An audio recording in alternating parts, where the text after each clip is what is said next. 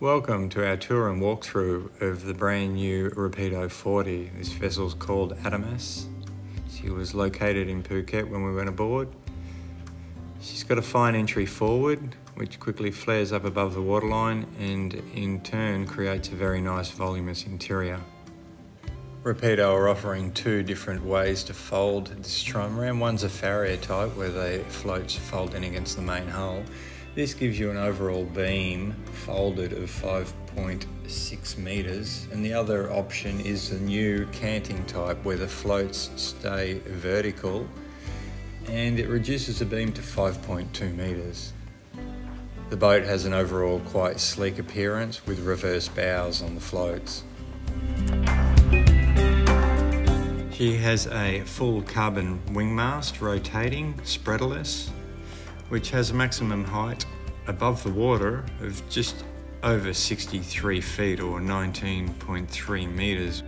This vessel had two solar panels at 330 watts each, supplying 660 watts of solar. The floats are divided into three watertight compartments, all accessible. The middle section is accessed through the Lewmar hatch and is large and voluminous. The forward and aft sections are located through these round sealed ports. The Kevlar upper and lowers are supplied by Smart Rigging in the Netherlands. You can see this is a section where there's another watertight bulkhead. Both boards are C boards, asymmetrical to create lift when the boat's pressed and pushing hard. The decks are large and wide and walking upon the float up to the bow is very easy. There's multiple pad eyes around the boat for docking and fixing lines. And you can see here on the port side three portholes which are all opening so there's great ventilation. There's also the escape hatch in the bathroom and head area. So you get great ventilation throughout the interior of the boat and the forward cabin. Foredeck is large and spacious and creates a nice area to work on.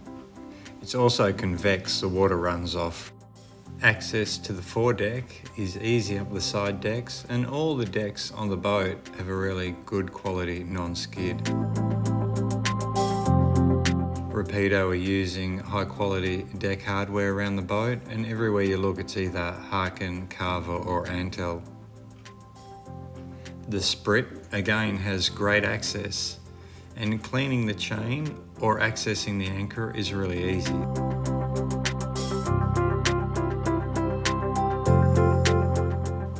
There's a large hatch that allows you to access the anchor locker.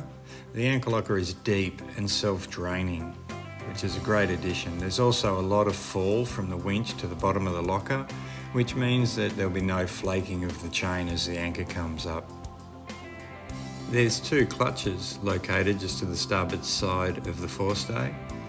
Those are for the tack lines. One's for the tack that goes out to the end of the sprit and then the other one is for a tack that is mounted just after the forestay or after the uh, anchor locker hatch there. You can see the pad eye and that's for a staysail or storm jib. You've got the two buttons there that operate the anchor windlass.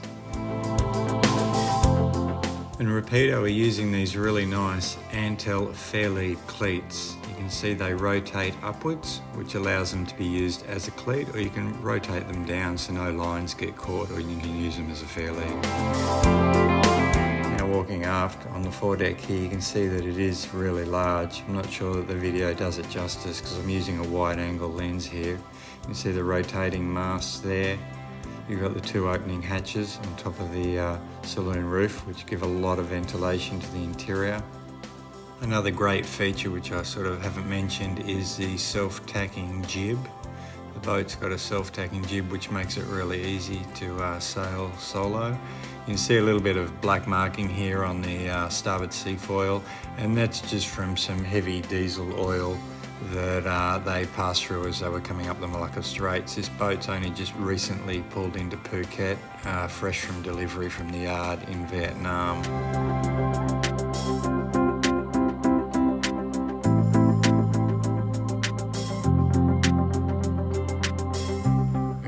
Coming into the cockpit, you can see it's a large U-shaped seating area. You've got the hatch there, which is uh, entry into the aft cabin where there's a double bed. You've got a really wide transom, great for pulling the tender up, getting the shopping on board.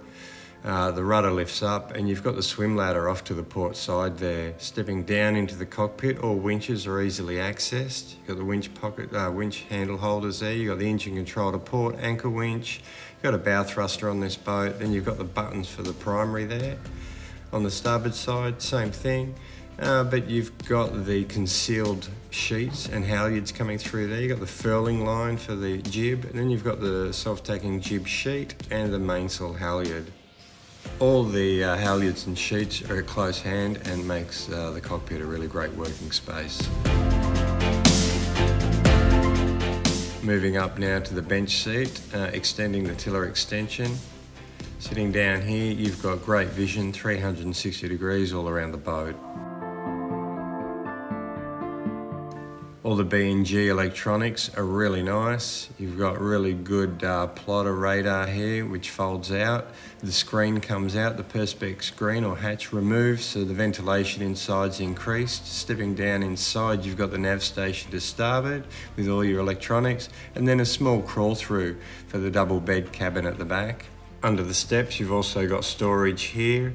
You've got a watch berth or a small seating area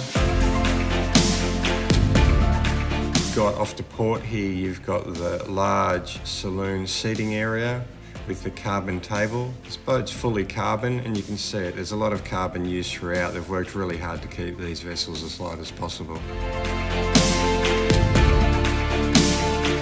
Looking at the galley area now, so you can see here the galley bench tops all carbon.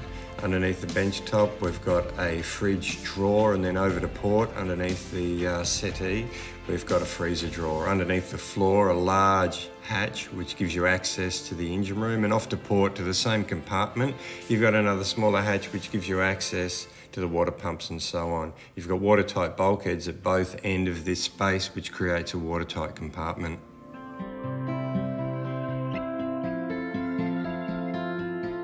Lots of storage throughout the vessel and you can see the attention to detail here. They've, uh, all the drawers are made out of carbon so they've really gone to lengths, great lengths to try and make this boat as light as possible. Small hatch behind the mast for ventilation and then two large Lewmar hatches in the uh, deckhead there above the galley and saloon area. We've got a hanging locker, more storage to starboard for the forward cabin over to port here, we've got the head or bathroom area with the escape hatch. Also aft in the aft cabin, there's another escape hatch. Great for ventilation here because you can leave it open while at anchor or just ajar to allow a little bit of uh, air to come through. But if a wave comes past, you don't have to worry about flooding the head. You've got the uh, plenty of deckhead height here. I'm 6'3 and we was able to stand up easily. You've got the macerator electric toilet, carbon bench top again, and a large shower area. Coming into the forward cabin now.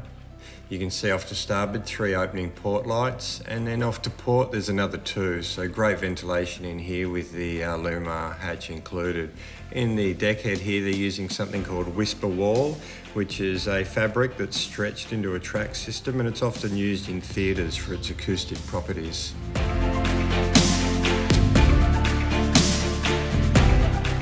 Plenty of storage and bench space in this cabin underneath the bed and also to port and off to starboard here underneath the bench tops. Lots of storage.